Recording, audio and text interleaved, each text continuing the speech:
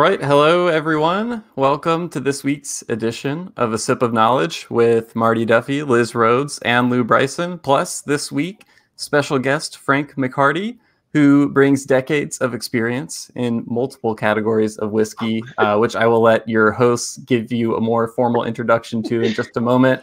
Um, real quick, before I turn things over, I'm Will Hookinga from Zavvy.co. Just want to point out a couple of ways you can interact with our hosts throughout the presentation. Uh, if you want to say hello, if you have questions, um, there's a chat box to the right. Feel free to say hello. Let us know where you're tuning in from. And if you do have a question at any point, you'll see a little button uh, near the middle bottom part of your screen that says Ask a Question. You can put your question in there. I will be keeping an eye on those throughout and sending them over to our hosts. Um, last but not least, please feel free to invite your friends to join us. There's a share button at the top right, which will let you do that easily. Uh, but with that said, Marty, Liz, Lew, I will turn things over to you now. Why, thanks there, Will. You are like the son I've never had. I appreciate that. That means a lot. Thank, Thank you, Marty. And kind of like one of the nephews I did have.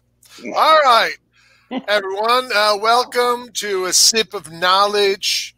Drink deep today. Um, uh, my name is Martin Duffy. I'm a former senior master of whiskey from Diageo. Need I say more?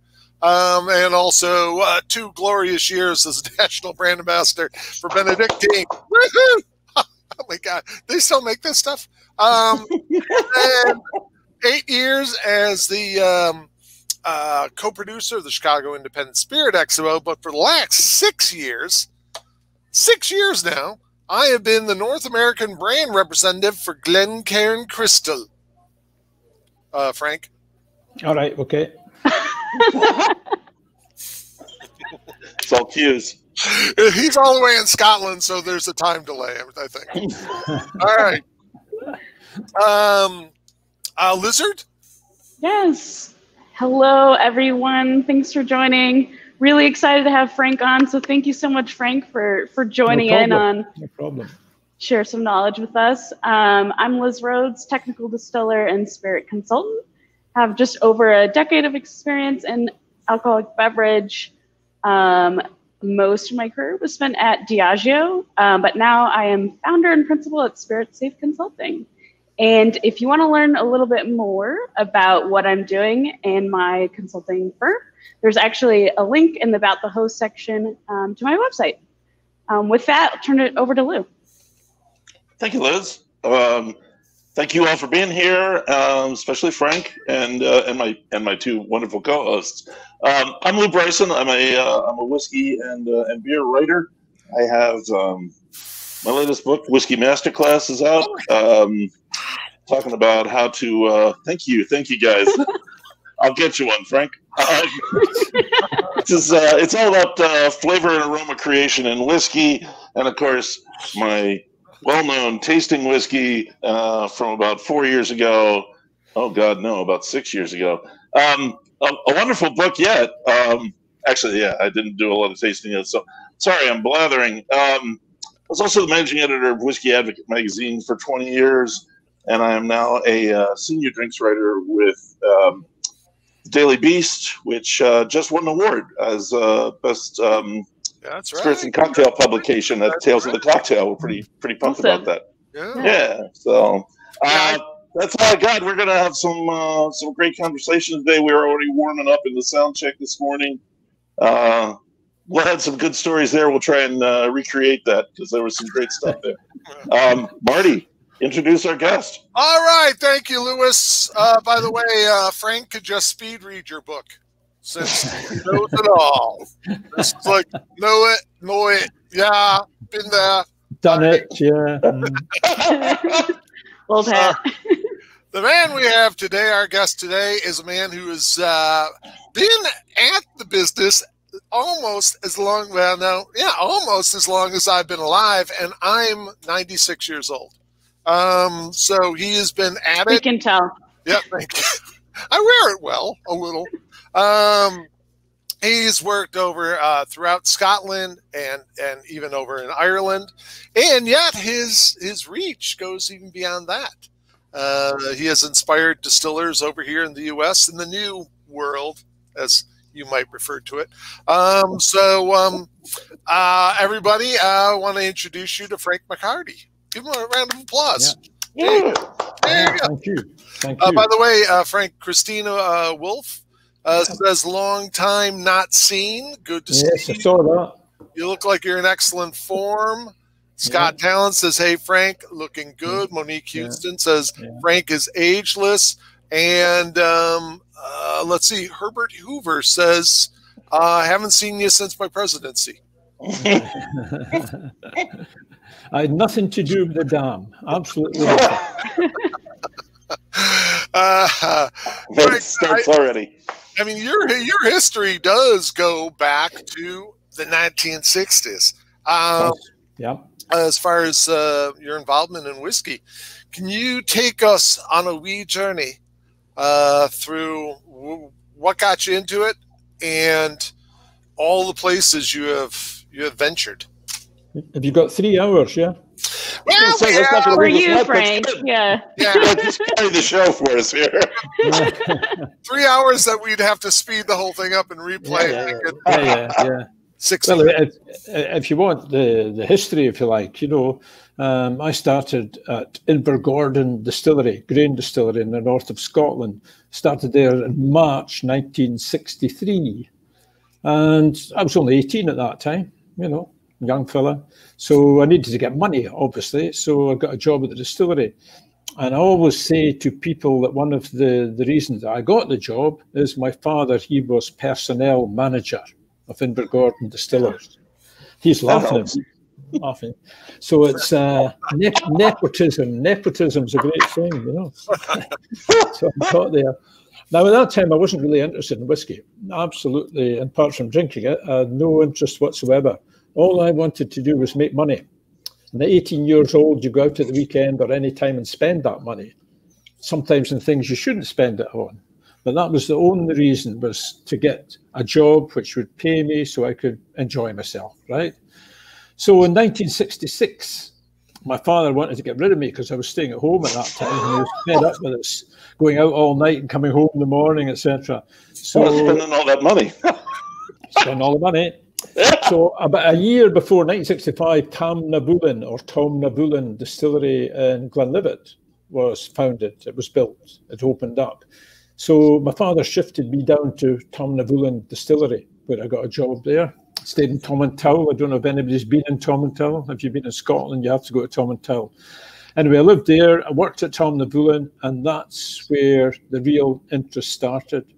Because at Tamnavulin, you did everything. I mean, I was taken on as a mashman, and then you did distilling. You did just everything, warehousing, the lot. You know, you just did everything. So that created a great interest. Apart from that, there was a certain sherry hogshead in a far corner of the warehouse where the spirit was filled into a celebration cream sherry hogshead. And even at three years old, it was bloody good. there, was a bit, there was a bit of that went on in these days. You know, that uh, it was the damn thing. I mean, you you help yourself a little to whiskey.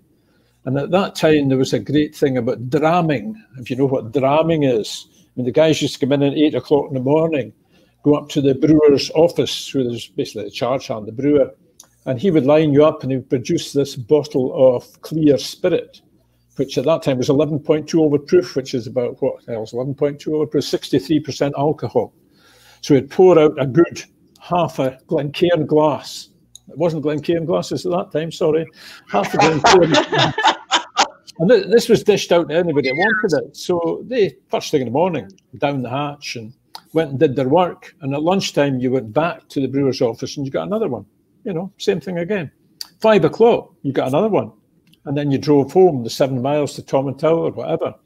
And in between all these drams, you could also have another dram if you did a dirty job, you know. So some of these guys were going home and they'd be pretty sozzled, you know. If there was a white line in the road, they would shut one eye and follow the white line, but there wasn't really. So you had to try and stay on the road, you know. so when they went home and they went into the house and their wife or partner, whoever, would have the dinner laid out for them. So uh, sit down, eat the dinner, sit down in the chair and fall asleep. And that was them for the whole night. And then the wives, they would phone up the distillery manager the next day and say, This is not good enough. You know, my husband, all he does is come home and sleep. You're working him far too hard. so Tamnavulin, I think, was a was a great sort of uh, grounding for me, if you like. Now you've got Invergordon Distillery, who founded Tom Tamnavulin Distillery and took over Bruichladdich Distillery. So in 1973, uh, I got the chance to move to Islay, to Bruichladdich Distillery, to actually run it as what they called a working brewer, which was basically a charge hand and a charge hand who worked with the people as well. So you actually worked with people, you told them what to do. So it was good. I, I like doing that sort of thing. I like to be hands on. As most women will tell you. No, I never said that. so anyway, I like to work away hands on. And it was a Bruichladdich from 1973 to 1977. You know, and again, that was it was a great place, Islay. If anybody's been to Islay, you, you'll certainly go back. It's a really friendly place. Some people say it's sort of out of the way, you know. I mean, at that time, you didn't have a ferry on a Sunday in 1973. You didn't get your Sunday newspapers until Monday. Oh. Sorry? No, no, no. I just I wasn't aware of that. Sorry. Go ahead. Take another drink. Go on. I believe you. so, yeah, Islay from 1973 to 1977. And then I saw the job uh, advertised at Springbank, you know, as distillery manager. Well, at that time it was assistant manager because the guy, Roy Allen, was he hadn't retired yet. So went across, went for an interview, got the job, moved across there, and remained at Springbank until 1986. Now, at Springbank, I worked for a year as assistant manager. Then Roy Allen retired, so I took over as manager. Springbank was pretty quiet. If you come in the same as the rest of the industry in the early 80s, there wasn't a lot happening, you know. So, um, but what they did do at Springbank is they bottled whiskey as well. So the bottling hall was extremely busy. So I was more involved with the bottling hall than anything else. There was a little production of Springbank in about 85, but apart from that, very little. So then that's me sitting there at Springbank and looking through the, the trade papers one day. Wait, Frank, Frank, can I can I stop you there a second? You, you mean that there was only production going on in one of those years? No, no, no. There was a couple of years, but that was the last year. Wow. 1985. Okay. There was very little production at that time. And I mean, the, the whole industry was pretty quiet at that time. Wow. You know, so, right after the big crash. You know that. Yeah. Yeah. So uh, I looked through the trade papers and I saw the job at Bushmills advertised. So I went across in 1986 and met a guy called Willie Mackay, another Scotsman and his assistant, a guy called Dennis Higgins, and we sat down and talked about it. At the end of the day, I was offered the job, so I moved across there. And a lot of people asked me, "Why the hell did you go to Northern Ireland?" You know, Northern Ireland at that time was well, it was okay, you know, but it could be a bit uh, a bit uh, not so nice areas you shouldn't visit, etc. So why did you go across there? And I always say to people, well, it's to further my knowledge, my education in the whiskey industry. But it really wasn't. I was paid more money. That's why I went. Get more money. Come back to the money thing again. so Bushmills was a it, was owned by Irish distillers at that time, and subsequently then sold to Pernod Ricard, and then obviously to Diageo, but that was after I went away. Um, Bushmills, big distillery. At one point, we were doing 3.4 million litres of alcohol in a year, and that was really pushing it. That was when Pernod took over. They were way up to that. Pernod wanted more production from Bushmills, so they shortened Liz shortened the fermentation times to about 36 hours, believe it or not.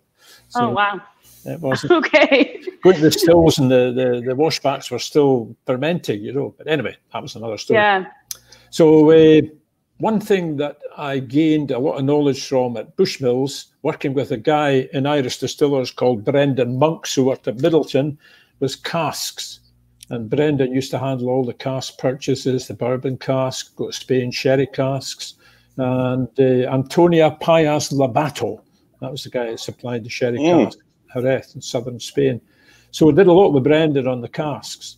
And another thing that I used to get involved with was planning the actual production, a bit of that as well, because you sort of sit down, or the, the, the people who are going to do it sit down and decide they're going to sell so many cases of whiskey well, you've got to actually get production to suit that whiskey. So if it's 10 years old, you've got to make sure you've got, you know, enough.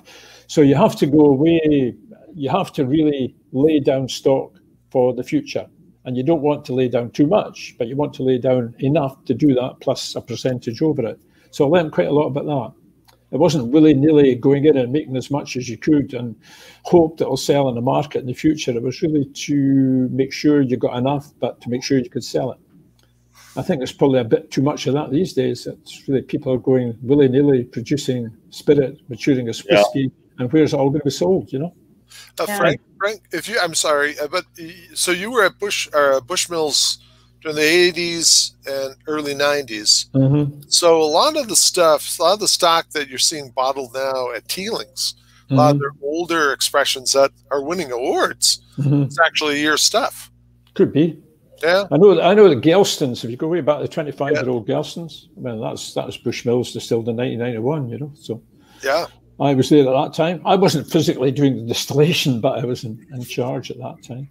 Still, though, I mean, that's kind of cool. I mean, a lot of that stuff that you made back then mm-hmm. is now winning big awards and mm-hmm. getting a lot of press. Mm-hmm. Yeah. I mean, I think the Teeling's got uh, uh, best Irish whiskey on some of those. I mean, yeah. and plus they've set records as the oldest Irish whiskeys yeah, uh, ever released. Yeah. So I'm yeah, sorry. I, I, was just over there last year and they were tasting us on some 28 year old stuff. Yeah. Yeah and it was good. I mean, it, it, all depends a lot on the cask as well. I mean, you can make the best spirit, and if you put it in a cask, it's basically shit, you know. pardon my French, you're, you're not going to end up with anything good. You've got to be really, really watch what you're doing with casks. I mean, if you go way back to probably the 60s or even before it or just after it, some of the casks were filled four or five times. You know, they weren't contributing hardly anything to the wood. You'd, uh, you certainly had uh, good access to really good sherry casks. And, amounts because a lot of the sherry came across to England was bottled, and then you got the casks, you know. So, is yeah, there cask, cask is the thing. Is there not a lot of reju happening in Ireland? I don't then? know. Rejuvenation. Oh, okay. No, yeah. I honestly don't know. I mean, that's that's a great way forward. I mean, it's gone on for a long time yet. It was sort of, uh, I don't know how many years ago started recharring. You're talking about recharring, cask rejuvenation. Yeah. yeah. And it's a good idea. I mean, I often think in the bourbon industry, you're only allowed to fill a cask once. It's got to be a new cask and all the rest of it, new wood. Why don't change the law to rejuvenate some of these casks and save the forests, etc., etc. You know. Anyway, I suppose all to do with employment and labour laws as well. I don't know. Yep. Anyway, simple as that.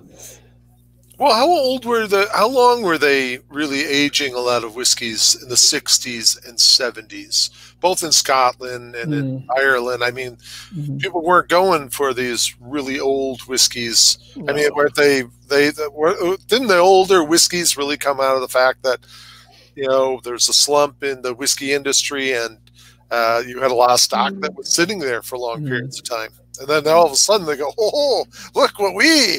Okay thought found. ahead and made. Yes, the happy or found. Yeah, found, found, a, found at a dark corner of the warehouse. Eh? Yeah, right. yeah. I mean, the single malt didn't really come into any great um, feeling for single malt until yeah, the late 60s, 70s. I mean, you've got like Glenfiddich, you had a bit Macallan, you know, Glen Grant, you know. I remember working in a bar in Tomintoul, and I shouldn't say this, but uh, there was three bottles left on the top shelf at the end of the season, and the proprietor said, "You can take these away if you want." And one was banana rum. I tasted banana rum. I never tasted that. Couldn't oh. drink it. One was a bottle of five. I shouldn't say this at all. Hope Mr. Wright's not listening. Five-year-old Springbank, which I also couldn't drink. It's one of the really old ones. Oh no, no, no. I mean, it's different now. Yeah, people now see the value. I mean, Springbank bottled 90, what was it, 1919, Springbank bottled in 1970, 50 year olds, you know. Oh, wow. There's, there's, not many bottles of that to find. You pay about 40 grand for each one, you know. It was a Springbank 21 year old back in the 90s that really turned me on to scotch as mm. opposed to bourbon. I was a bourbon mm. drinker mm. then. Mm-hmm. Oh, I thought that stuff was like as a, an Irish friend once told me, it was like an angel pissing on my tongue. It was so good. Was that at the time you met the three wise men, was it? So that's a new definition of angel's share, I guess. Like, Angels sharing it, but it's an mutual. yeah. Angel's Sometimes they discard. take it, but sometimes they give it back. Yeah, that's true. I got Anyway. too much of it here. Any, anyway, to continue, worked away Yes, I'm quite sorry. happily. It's, it's all right. I'll let you off this time. Uh, what was I going to say there? Yeah, continued working at Bushmills until 1996. Come here. Sorry about that. I Are just you have okay? to show you that. Oh, Oh, That's it. Go on. yeah, carry. Fluffy. So that's a rag doll. That's what it is. Oh, that's right. Okay. did, yeah. great looking cat. Yeah, it's all right. Right, down. That's it. So here. Bushmills up until 1996. Looks better than me, the cat. It's got more hair. You should wear it on your head, Frank. Yeah, it could be Davy Crockett. Davy Crockett with a raccoon. I can wear the rag doll, yeah. So, 1996, uh, well, that time had been a long time in the whiskey industry, and my wife had this fancy to have a, a bed and breakfast establishment.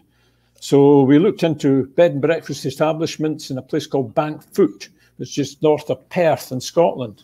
And we saw this nice place, so we are pretty well settled. We'd go there, and that was it. Give up whiskey and go and do bed and breakfast. Never mind. I do as I'm told, you know, sometimes. Um, so almost at the point of leaving Bushmills, I got a phone call one day. And I got a phone call from the chairman of Springbank, J&A Mitchell, a guy called Mr. Hedley Wright. I don't know if anybody's heard of Hedley Wright, very famous person in the whiskey industry. He's the chairman. And he phoned me up and he said, Frank, and he never calls anybody their first name. It's usually Mr. uh, Mr. whatever. So it was Frank. He says, um, do you, he's passed some pleasantries, and then he said, do you know of any distillery managers that are looking for a job? And I said, well, not really. And anyway, I am leaving the industry. I'm going away to do bed breakfast. You can't do that. You have to come back and work for us. So I did.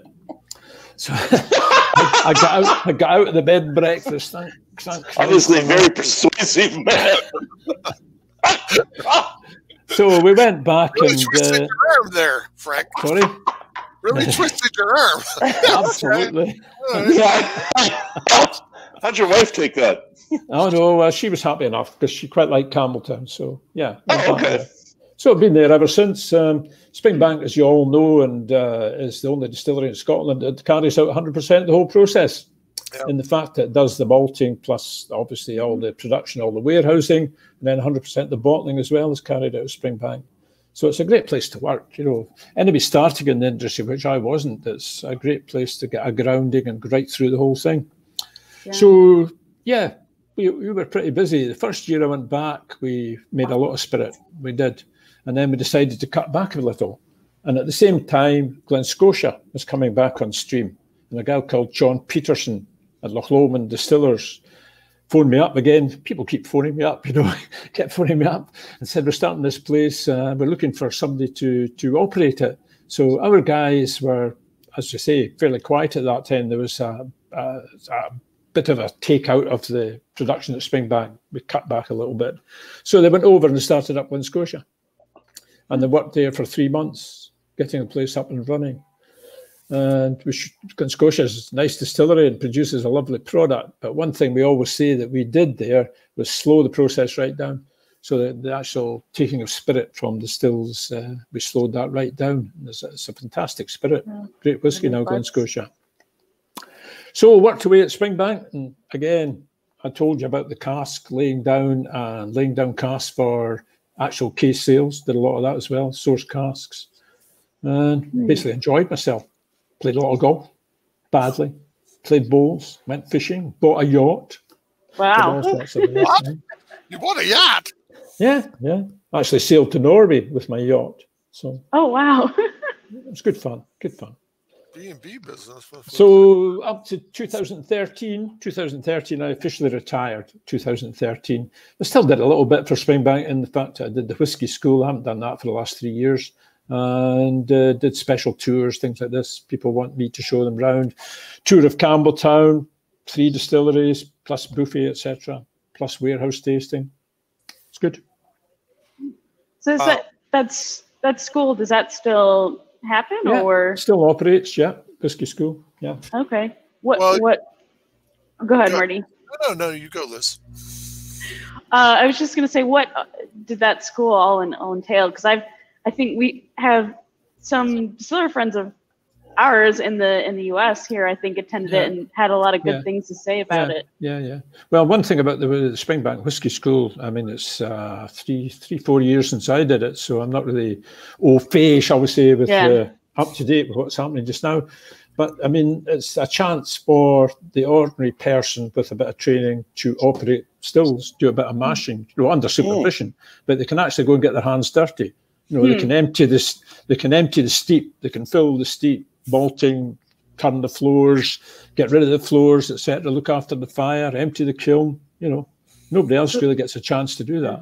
So you're showing them the the unsexy parts of uh, whiskey. Yeah, like just so you know, this is what you're actually getting into. Other than the stills, is there really a sexy part? And then the where the the Well, barrels. I mean, the- there's not a lot of sexy. Well, it it depends. It depends. It depends on the shape of the stool. I mean, some of them are like that. you know, so, uh, Jim Murray, go watch it. knew it. I knew never said it. no, Not a no, not going there. No, not going there. All right. Uh, anyway, Frank, Frank, speaking of, uh, like I said, you have a uh, far reach. As uh, as Liz mentioned, you uh, you um, were a mentor to a, a number of guys, and I think we have a photo of one. Will, are you out there? Will, I beckon thee. Um, there's uh, two brothers here in Illinois.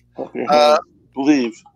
uh, the uh, the beautiful Blaum brothers. That is uh, a young and svelte uh, Mike Blaum, Yeah, uh, who, no, it is. uh, yeah, and a fat Frank McHardy with no yeah, boy, that doesn't that doesn't look like you at all. nah, uh, but yeah, that's uh, that was uh, Mike doing his uh, R and D back Mhm, in the day, mhm. Yeah. and uh, he said he learned uh, a lot from you. That you Mhm. were Mhm. uh, that time he had over in Scotland was Yeah, I think a lot also doing the whiskey school, they learn a lot from the operators who are working with them. These are the guys Yeah. with all the skill, and they pass it on. You know, and it's it's really it's really cool. As I say again, nobody else, as far as I know, in the Scottish whisky industry treats people like that, where they can actually go and touch things. I mean, you've got all health and safety now, and they, they pay attention to health and safety at Springbank as well, but. It's Sure. not really kosher to let people touch anything. Might burn themselves, do whatever Liability. liability. Yeah. uh, what was it? Scott Talon says, "Ask about the resurrection of Glengyle Kilkerran." Glengyle. Yes. Gyle That's hard for you to say, Kilkerran. Kilkerran. Yeah. Kilkerran. Kil- If you just get real fast and real angry, it sounds Scottish.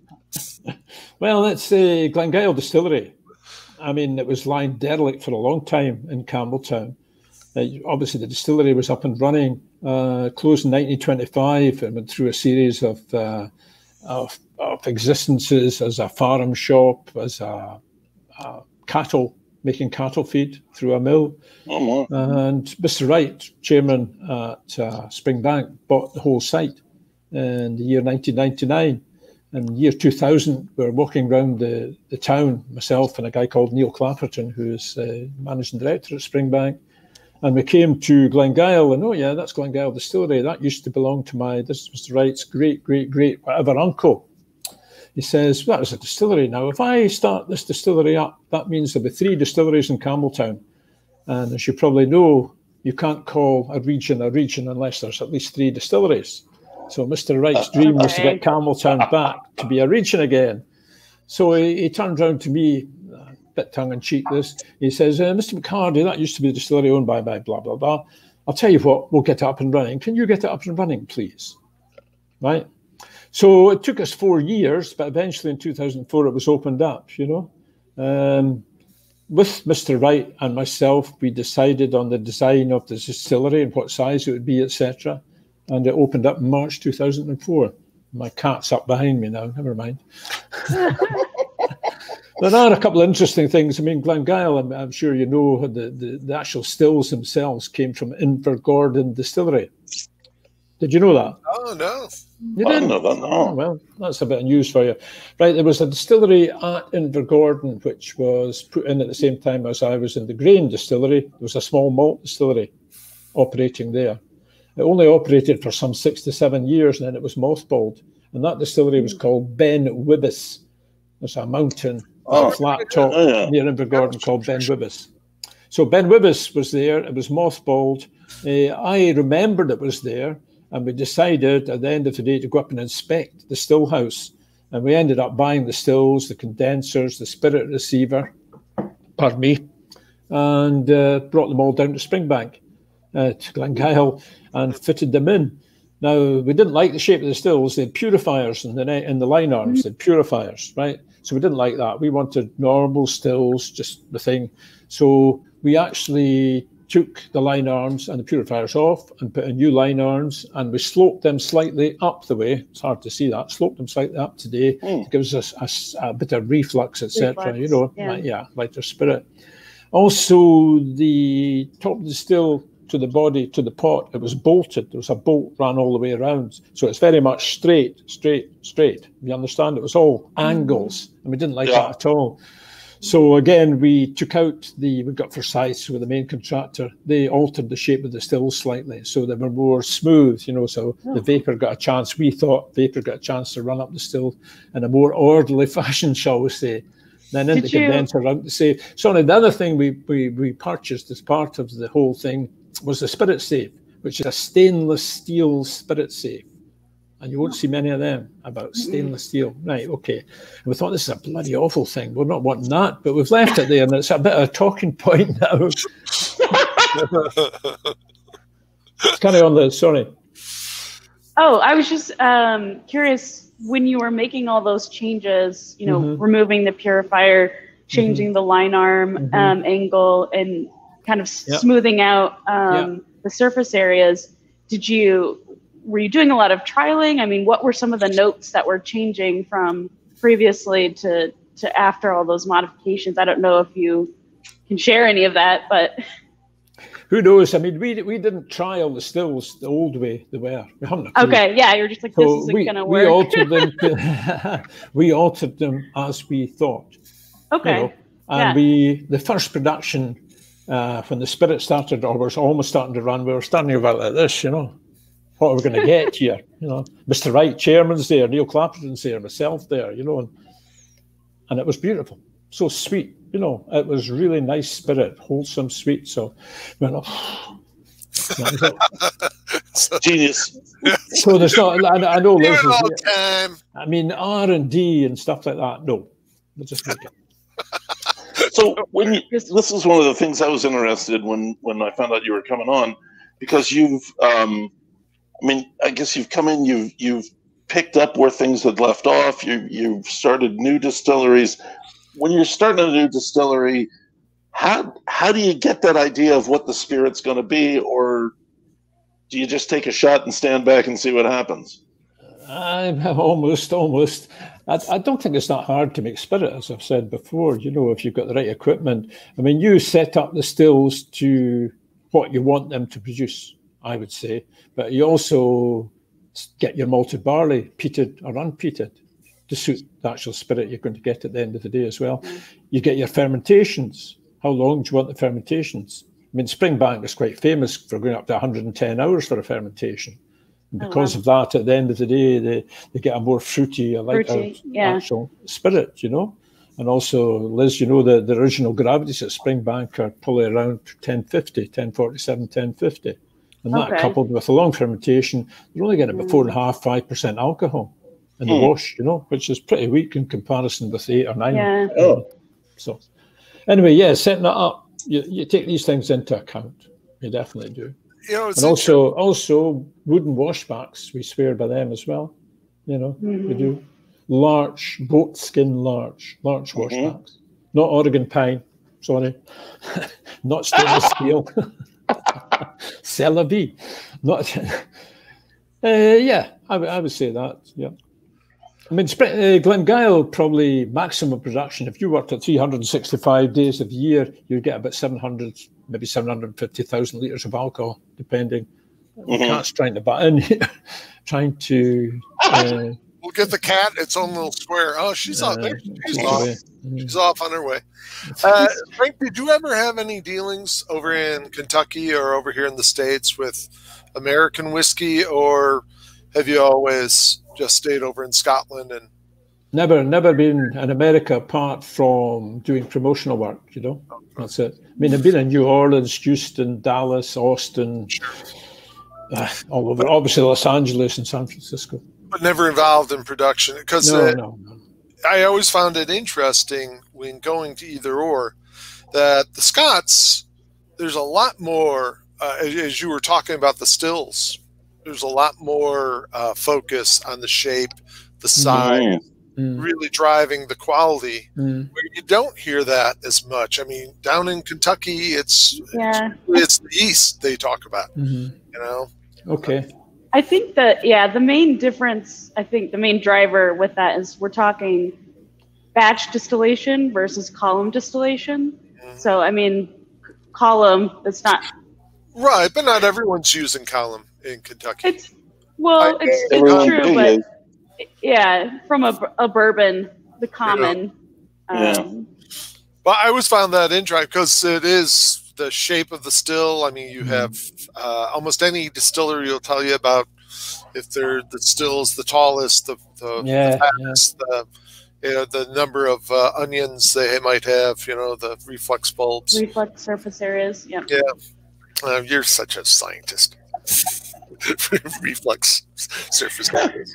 Yeah, so Um, you're talking about balls. Great, Marty. That's great. Bulbs, bulbs, not balls, bulbs. Oh, oh, Get your mind out of the gutter, Lewis. I did actually. Um, I, I wanted to ask you a, a non-technical question. How do you mean, Frank? Um, Thank God for that.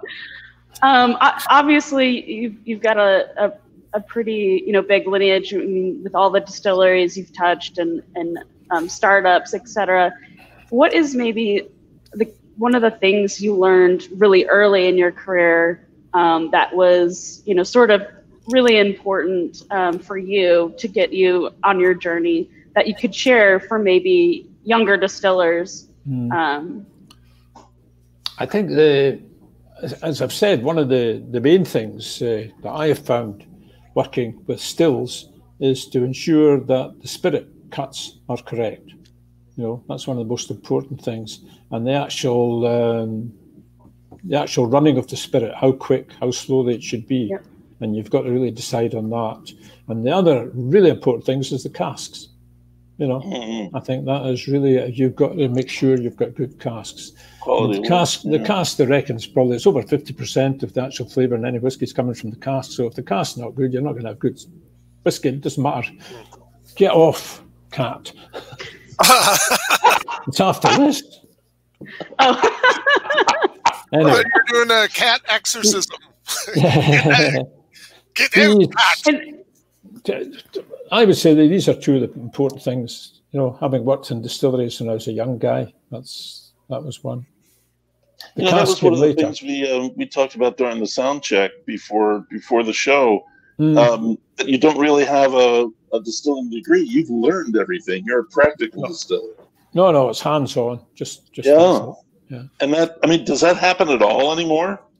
I think there's a lot of distillers who got to the giddy heights of where I am running distilleries. Quite a lot have gone through courses at Heriot, degrees at Heriot Watt, for instance, in Scotland, you know, come up with brewing distilling lists, you know. Yeah. And that, that certainly it does do a lot for it. That's the way the industry's going, you know. But you know, that was the thing. That's what I was going to ask in our little earlier session. Was uh, uh, that was something I was picked up from some of the old timers at Diageo back in Mm. the late '90s. Gordon Mm. Bell and Evan Cattanach. These guys all Evan, started aye. that way. Good, good guy. Mm. Yeah, they all started at you know the bottom, uh, Mhm. where- just like you. All those different jobs they had around the Yeah. distillery, which Yeah. is, you know, you uh, for those uh, folks out there in the restaurant industry, that's what you always heard was Yeah. the best way. You want to Mhm. start off as the busboy Yeah. work your way up to manager, so you know every you know you've been washing Everything. dishes. But it was funny; those guys would walk around, and you know, then they started meeting the young Turks, the the new kids uh, with Mhm. the, uh, the smocks on and with the science degrees, and they'd uh, always kind of question, said, "Oh, you're going to an awful lot of trouble." But yes, taste it. Yeah, that's good. Yeah, that's uh, that's all you need to know. Well, slip it. You know, you know, a couple of things here and there. But did you ever feel that as times started changing and they started bringing in chemical engineers to do what you learned to do on the job? I think at the, the start you thought, "What's what's the good of this?" You know, they're just you know more than they do. They've you know come from books and things like this. But as time goes on, you certainly can see the value of all these people. Definitely, science is a big part of of whiskey now, and the actual production of it to the ensuring that you get what's you done. Put their glasses on. Like, yeah. Science. It's, I, I know I see that. Well, I, I've got mine on, but I can't see without. it. Oh, no, wait. Old So no, no, I, I, yeah, I think science is a science is a big part to play in, in the production of any item. You know, and whiskey's no different, or spirit Yeah, is no the- different.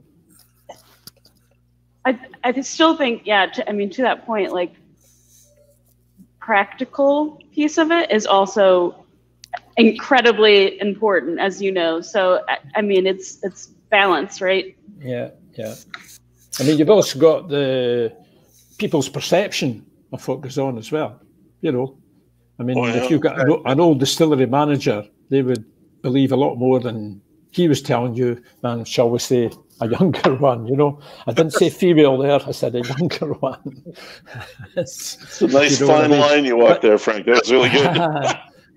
but you've also got the visitors, the visitors thing as well. I mean, that's totally new. That's within the last 30, 40 years. Um, Distilleries make a lot of money out of visitors, you know, and that promotes obviously whiskey as well.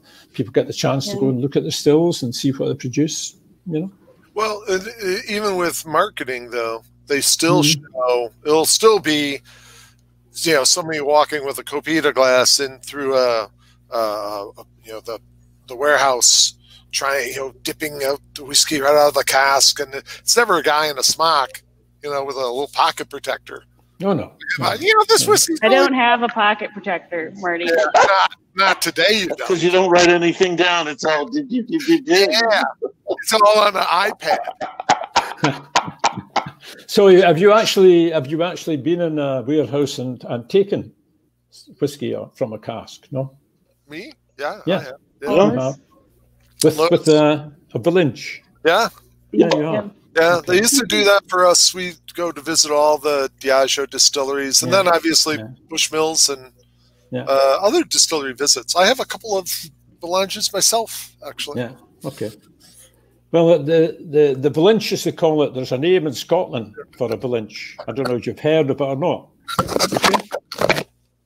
You listening? No, he's gone. What is? Where is he Just going? wandering off. Random warming. I think he's trying to find. Yeah. He's trying to find a prop. It, it, it's okay. He'll come back.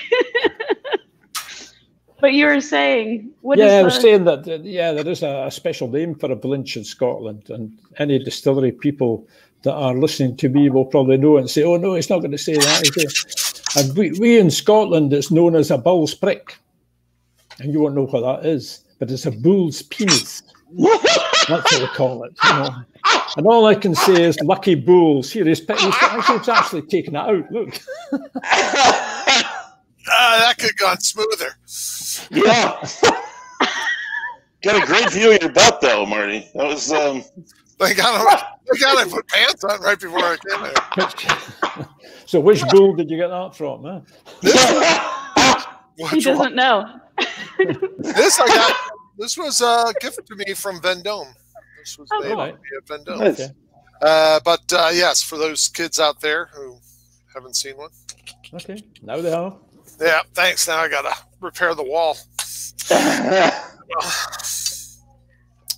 Uh, you know, it's uh, it's interesting too how you said. Uh, actually, found it kind of funny. Your dad got you in the business because Mm. you were basically hanging out, uh, staying out all night drinking. What better place to uh, put you to work but in a distillery? Yes, I know. Aye, but that It's a time, little and that, weird philosophy, though. Yeah, but in the grain distillery at that time didn't have the same mentality as the malt distillery. You know, oh. they got their drams, etc. No. although, although more, it, more a factory. Uh, well, it is column stills. It's a bloody factory. I mean, I was a stillman, a stillman in a column still. You sit in a little office and you control the actual spirit, you know, coming off, and that's such a boring job if you're sitting there for twelve hours at a time doing that. No, not easy to stay awake in night shift. Mm, yeah. Hey, uh, uh, you know, we mentioned this. We talked about this briefly earlier as well. Um, uh, uh my friend Jim Clark, uh, originally from Ireland, um, part of the Irish Whiskey Appreciation Society, now a professor over in the UK, uh, wanted to talk about wanted us to talk about your experience with Dartmoor. Oh, I, mm-hmm, mm-hmm. and everything you were doing, and what you were telling us before was yeah. pretty interesting. Yeah, you mentioned about the still that you use. Yeah, yeah. It's an old cognac still, which was yeah. sourced in, obviously in cognac, and it belonged to a guy called Miguel Danjou. Miguel Danjou. Hard to say that. Miguel Danjou. Anyway, he's an old uh, cognac distilling family, and he had this old still lying in the corner of one of his uh, one of his buildings. And the reason it was found is the one of the founders of Dartmoor, a guy called Greg, he goes a lot across to that area and he found out about it still and uh, came back and spoke to his friend called Simon Crow, who is a hotelier down in Dart near Dartmoor. And they decided they were going to start a distillery. So they brought all the distilling equipment across, and Miguel came across and set them up. So they've, they've ended up with one of these cognac stills, if you understand, plus what they call a wash warmer, plus a condenser and they source their wash from a local brewery. No hops hmm. involved, mm. wash yeah. because they do proper mashing. They source their barley locally, malted locally as well. Production is mm. very, very limited because the still is only, what is it, 1,200 litres in size. Oh, wow. Yeah. So what they do is, I don't know, have you seen a cognac still? Uh-huh. Yeah. yeah, you know, it comes yeah. out. The little pipe comes out the top, and it runs in. It runs through a. I think they're very pretty. It runs through a thing which like shaped like a bell, which is a wash warmer, which helps, you know, etc. And then they've got the condenser. So they do three wash distillations. They collect low wines from that, then they clean out the still, get rid of all the crap that's in it, and put the low wines in there. And from that, they take spirit. It's not a very large still. No, it's tiny tiny. Oh, absolutely tiny. Dartmoor tiny. itself is, I mean, their production would be how much annually? Oh no! Now you're asking a question. I'm not sure off the top of my head. I don't know. I, don't know. I mean, they're only filling two or three casks a week. Oh That's wow! It. Oh, so, oh, But again, the select casks. I mean, the, the first lot of casks they've got bourbon, they've got sherry, they've got Bordeaux, etc., Madeira. So you know, yeah, no, you will see them online. You'll see them on if you look up Facebook. You'll see them advertising all the time. You know, the first uh, stuff's coming out at the moment. So yeah, somebody that... just mentioned that. Scott Talon just mentioned that the oh, that oh yeah, sixteen-year-old. 16 year old being released. Oh no, he was talking about Karen. Never mind. Never no, mind. No, no, no, no, Yes, yeah, I'm not. I'm not keeping the flow here. No. Um, the thing was about Dartmoor as well. They bought they bought the old town hall in a place called Bovey Tracy. That's where uh, that's, where right. they stay. And the town hall, they've, they've decked it out as a sort of a meeting place as well, with the stills down at the end, the still down at the end, and a bit of glass wall in between, so public can see it, but they can't touch anything. And down below the town hall is the old the, the jail, the old police cells, if you understand. Now, they, they haven't quite managed to attain them yet, but they're in the process of attaining them, and they'll probably warehouse some of the whiskey down in there in the cells, you know. Oh, seeing a marketing But they bottle, they bottle as well, and I mean, it's not quite Keith Robinson, if you know what I mean, but they do bottle. They make a good job of it. Yeah. Is it, is this uh, town hall still operational? Is this like where the, the town mayor hangs out? No, no, no, no. He's a good guy, by the way. The mayor is a really nice guy.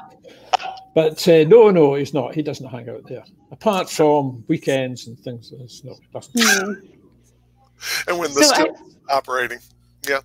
So I, I, would imagine that this is direct direct fire then. Direct fire by gas. Yeah. Yes. This. Okay. Yeah. yeah. Um, I mean, I, the, the spirit, I'm not sure the flow rate of the spirit, but it's tiny. You know, I mean, Yeah. tiny little pipe. You know, it's just nothing coming off it. And again, it's so sweet and so pure, etc. You know, no bad notes in it at all. And again, we didn't know what was going to come out of this, but then when we saw it, brilliant. You know, It's so I was now- there for the first distillation. Do they uh, like a uh, most cognac stills rest on a uh, brick oven? Yes, it is. Uh, the same thing here. Yeah, Direct fire. yeah, Oh, Wow, that's yeah. very cool. yeah, yeah. So I had a, qu- I had a question um, I'll- around flavor, and this kind of segues um, my question for you because Springbank right also does uh, direct fire, but in your experience with indirect and direct fire, how much do you think that contributes to flavor, or do you think there's so many other things going on in the process that it doesn't necessarily? Good question. I, th- I think there's an awful lot of things going on, but at Springbank, they reckon with the direct fire and the wash still, you've got a slight charring effect. And mm-hmm. that charring effect's carried right through the spirit and ultimately the whiskey, but you're not aware of it. But if you took a sample of the actual low wines, shall we say, coming off off the wash still with the direct firing, and you stop doing the direct firing, just use the internal steam coils. If you did a GC analysis, you'd find that some of the flavour spikes would disappear. So you got to carry mm. on doing it.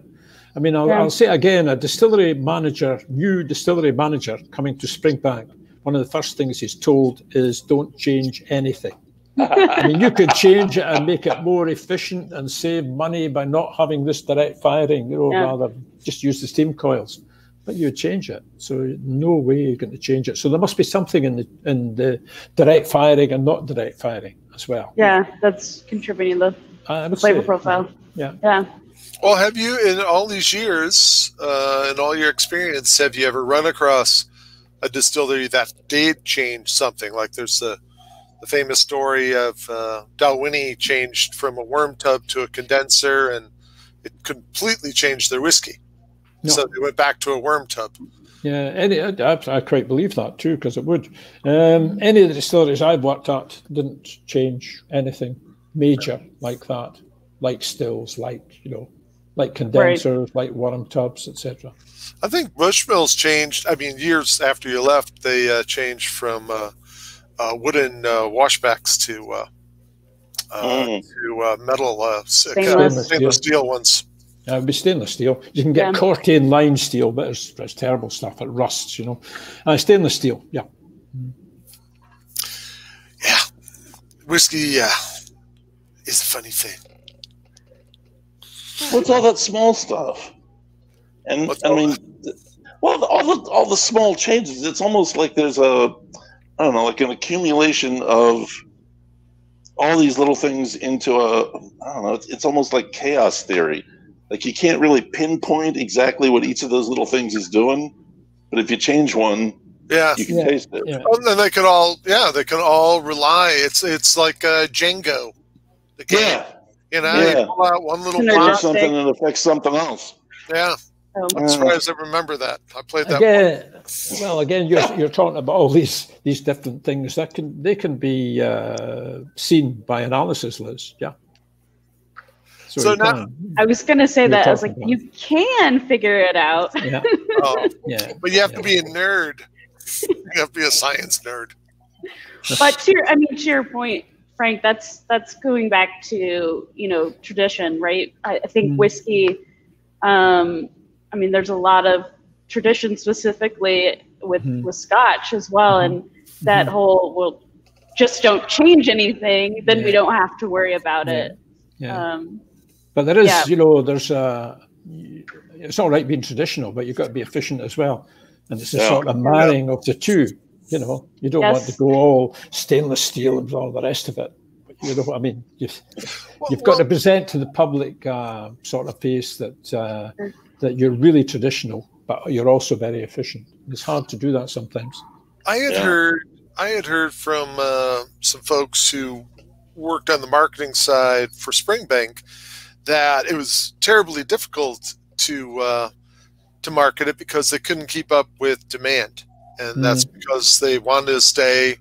producing how they produced, and they Yeah. were going, "You can't grow. You gotta you gotta make some changes, Yeah. or at least expand some way." But even where hmm. that distillery is located in the town, Mm. I don't know how they could even expand their facility. I Well, mean, spring, springbank production, it's not full production. So you want to make more, that's it. Oh, But Just Springbank take the decision not making more. to. Springbank taking the decision not to to overproduce at the end of the day. I mean, there's no point in creating a whiskey lake when you can't sell it. It's, You know, if you create too much, and the price is going to drop. And what about Springbank, to that? Yeah. Springbank, to my knowledge, I'm sure they don't. They don't Yeah. go to duty free.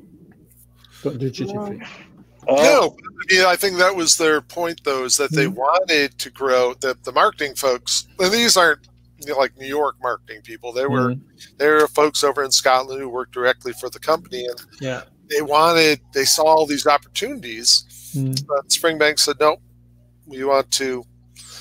We like what we're doing. We like how much we're producing, and uh, that's all we're Yeah. going to do." And Yeah. at the same time, though, I would love to have find if Frank, if you know anybody still works there, who'd like to send me a bottle of the 21 year old so I can reminisce. No. Good Um, answer. Speaking of uh, enjoying um, some whiskey, what is everyone drinking today? I don't think we covered that Fair. yet. 32 year old North British bottled by Cadenheads. Oh, Wow, look at And you. that's I love really, those older grains. Oh, it's beautiful. Yeah. They're wonderful. I'm enjoying some vitamin water uh, produced by 50 Cent. Ooh. What? I think he founded this. I think it was 50 Cent. Don't correct me if I'm wrong. Uh, Nope. I was, I was I gonna- idea. I was supposed to be leaving after this and driving, so I didn't want to drink. Oh, gotcha. I have, uh, I'm just I'm um, just going next door to watch the telly. That's it. I have a new Maker's uh, limited release. Oh yes, in the spirit of uh, Scotch and uh, Irish Yeah. whiskey. Yeah, drinks. that's why I did that. Yep. What about you, Lizard? Water. Wow. Oh my god! Well, I, water Too I'm on healthy. the job. it is the original water of life. I Oh, mean, that's true. You're right there. You're actually in at work. yeah, Right. I'm, I'm at a distillery at work, so Oh well. also Yeah. being being responsible here, Marty. Is that a is that a napkin dispenser back there? Are you in the break room? yeah. It is, isn't it?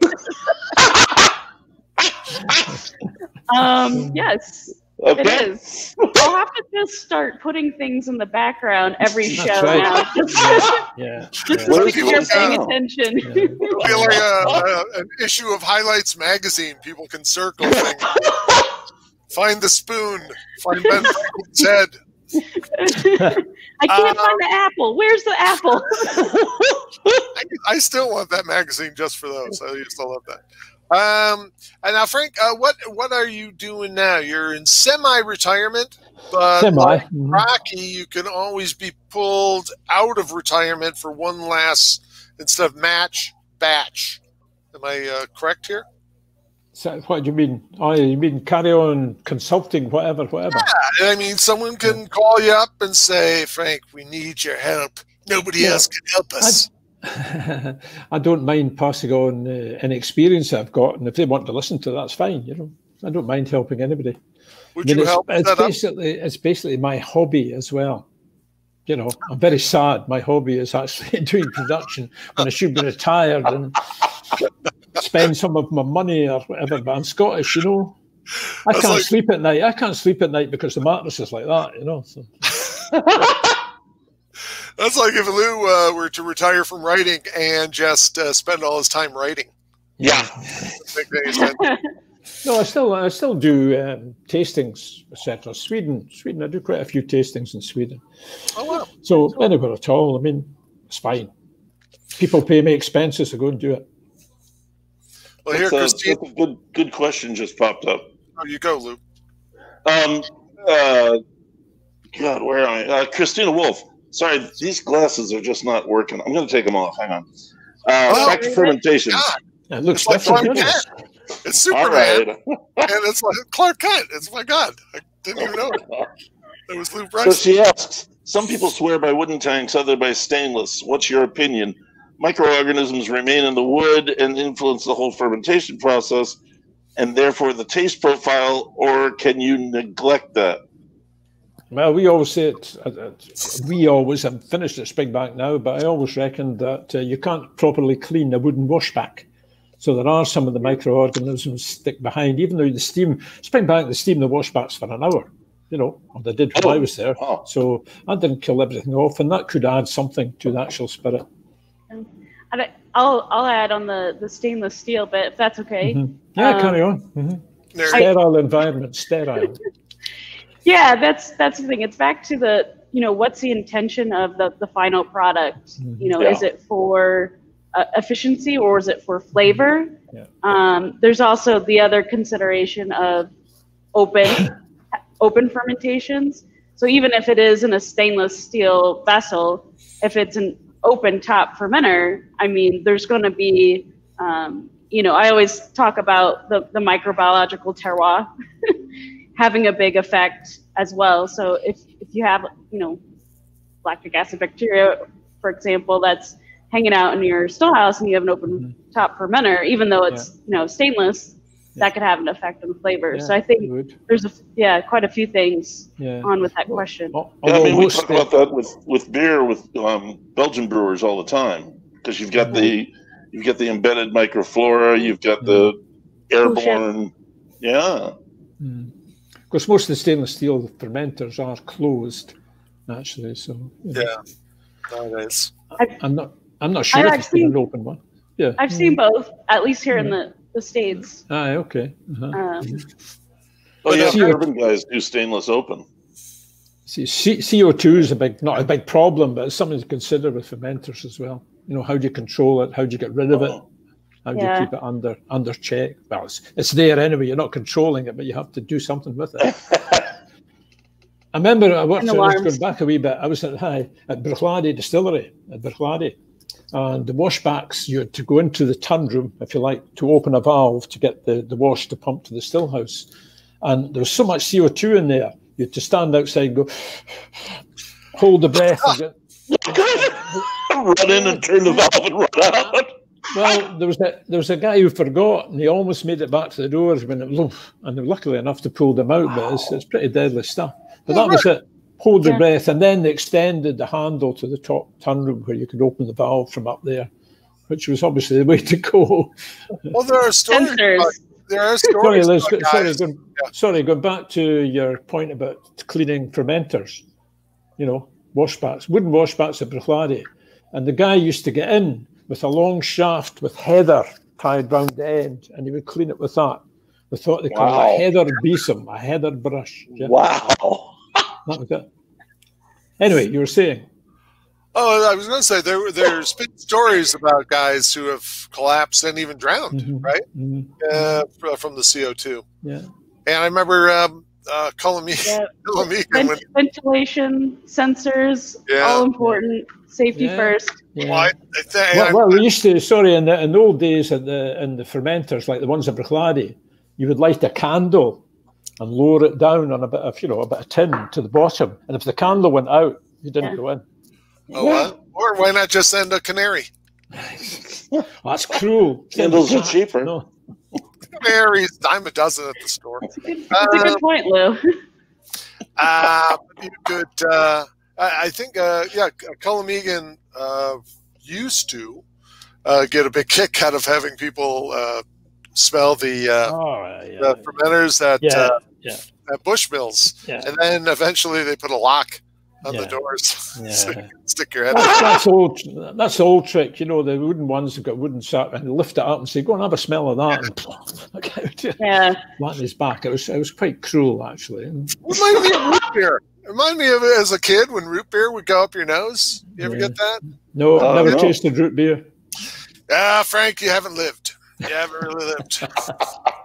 Um, fun Say fact about root beer: the A fun flavor fact. profile of root beer is actually um, spearmint. Think about it. Oh, it's wintergreen, not wintergreen. Yeah. Or yeah, wintergreen. Yeah. Thank you. Thanks for the correction. That's okay.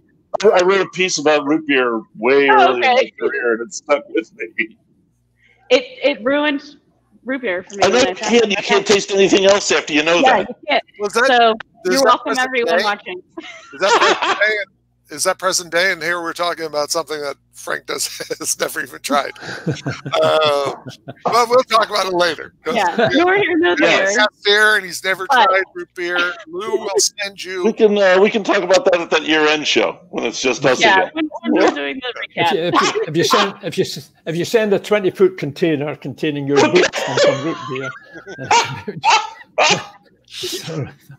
Well, So, uh, all right, going back to what you're doing now.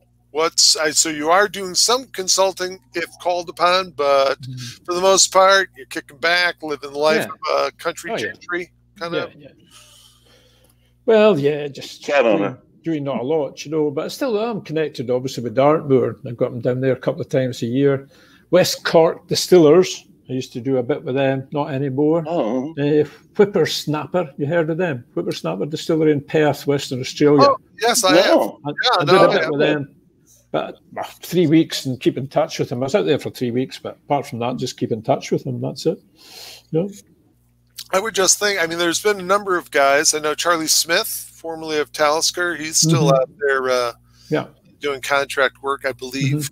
Mhm. And uh, I- you know, uh, it seems like a lot of guys are Mm, over here. A lot of folks who've been in the industry not even that long, not even uh, you know, twenty, maybe not even twenty years of leaving and finding that they could have a, yeah, a quite a career as a yeah, yeah. uh, consultant.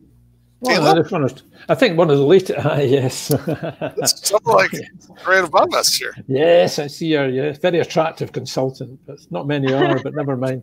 Jim Anyway, Murray. yeah. Jesus, that was a is harmless. Jim paying you for all this? Yeah. What I was going to say to you, the, the latest consultant I've heard of is a guy called Stuart Robertson, who is Oh, sure, just yeah. finished with Dalmore Distillery. I mean, he was at Springbank and then Dalmore, so Stuart's setting himself up as a consultant as well. I'm not advertising for him, but a very able guy who knows the industry extremely well. Yeah, Stuart it was, wasn't. I think Stuart was at Talisker way back in the day, back in the early aughts. Was it? Yeah, Oh, I so. Yeah. I think I have a couple of uh, twenty-year-old bottles with his signature. Right, okay. Right, right. Very good. Good. Yeah.